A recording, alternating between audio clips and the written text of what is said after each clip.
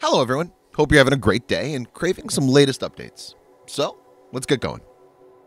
A newly developed commercial airlock named Bishop will fly to the International Space Station by the end of the year. This launch is officially awarded to SpaceX, as per that SpaceX's Falcon 9 rocket will fly from Florida's ground, carrying a large cup-size airlock to the International Space Station. This commercial airlock will be hooked to the outside of the ISS to get payloads and other materials from inside of the space station out into space.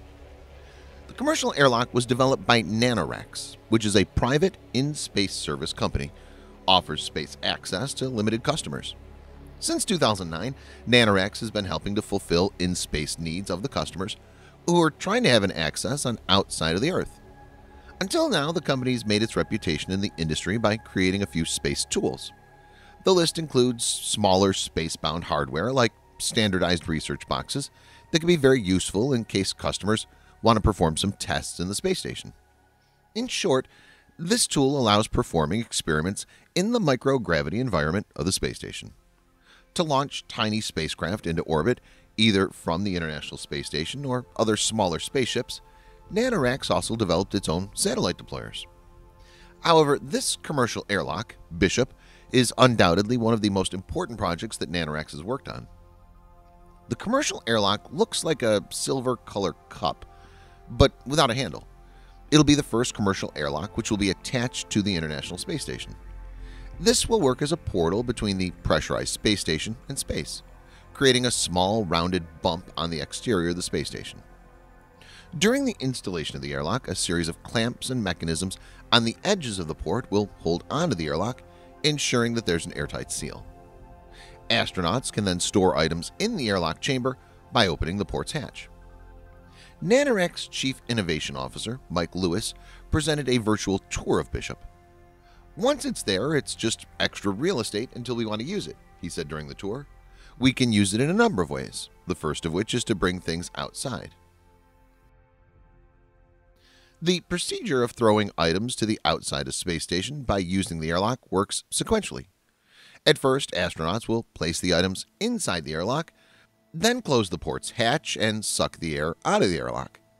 Then a working robotic arm, which is located outside of the station, will manually grab Bishop and remove it from the port.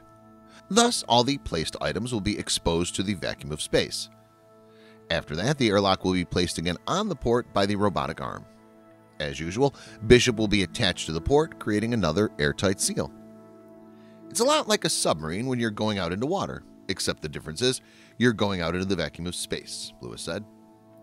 The International Space Station has three active airlocks currently attached to it, where two of the airlocks allow astronauts to exit the station. The remaining one is the Japanese experiment module that releases items into space. Until now, NanoRacks deployed its customer's satellite through the Japanese airlock, which was the only way at the time. Now, having Bishop on the space station, the company has another option to deploy its satellite. According to the company, using Bishop is more beneficial than the Japanese airlock, as Bishop can handle more than five times the current volume of the Japanese airlock. Again, having one more airlock in the space station for deployments means more customers could get into space. An important use of an airlock is to deploy satellites into space. Once satellites are placed along with the deployment boxes inside Bishop, astronauts will operate the airlock to expose items outside the station. Thus, along with the items exposed into space, it will deploy the satellites around the orbit. However, it's not necessary to deploy long-term satellites from Bishop.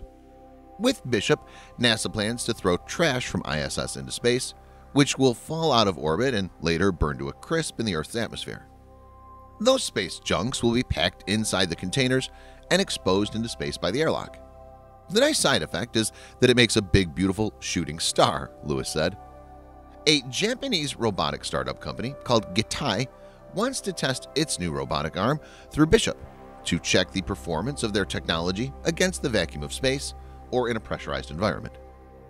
Research payloads will be attached on Bishop to observe parts of Earth from space. Moreover, payloads and experiments can also be attached to the exterior of the airlock through using the adapters.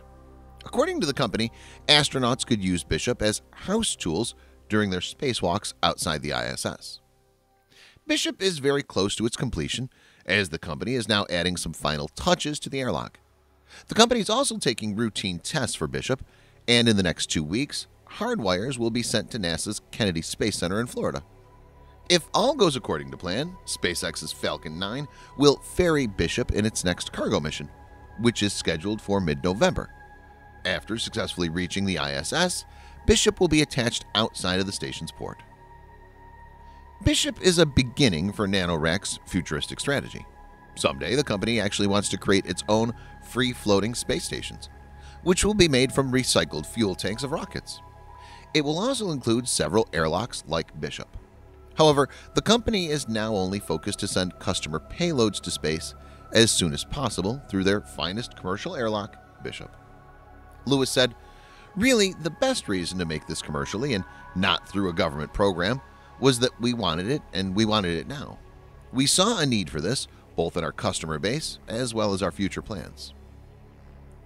Let's have a look at the updates regarding United Launch Alliance. Recently, United Launch Alliance ULA has been awarded to fly an NTS-3 satellite to Earth's orbit by the year 2022, which will be a classified mission of the United States Space Force 106, or in short USSF 106. L3 Harris, an agile global aerospace and defense technology innovator, developed this experimental NTS-3 satellite under the contract of Air Force Research Laboratory. According to Air Force Research Laboratory, AFRL, the name Satellite Navigation Technology Satellite 3 resembles the history of the Naval Research Laboratory's mission in which NTS-1 and NTS-2 flew in the 1970s. L3 Harris is building the 1,250 kilogram satellite under an $84 million contract that AFRL awarded the company in December 2018.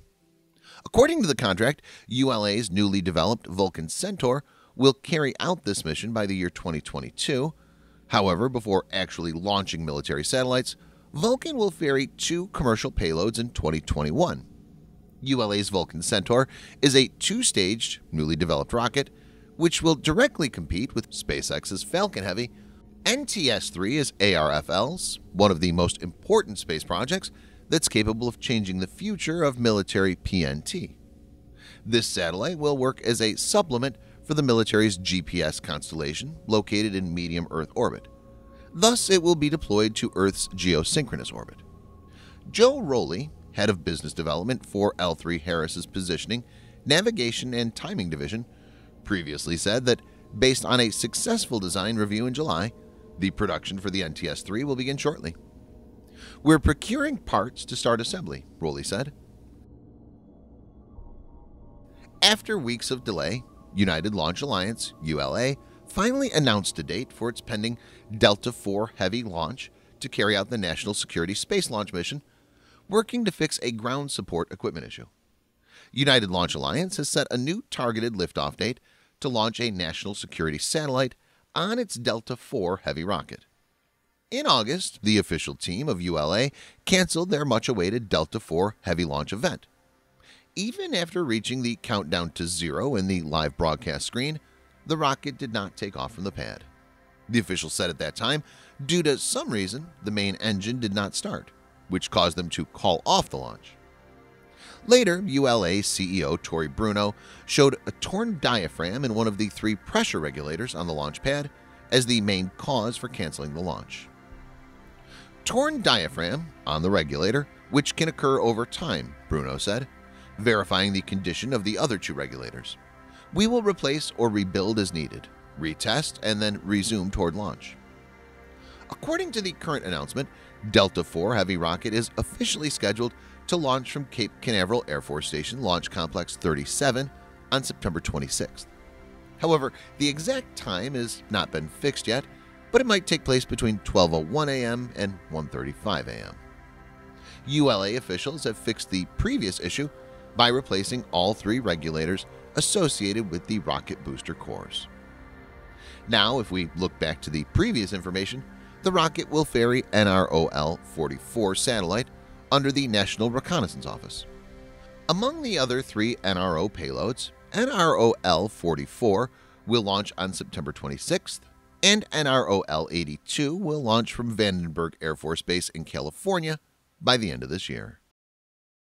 Thanks for watching. Please subscribe for more videos like this. Hit the like button if you find the video interesting, and kindly provide your valuable feedback in the comment section. This will help us to improve.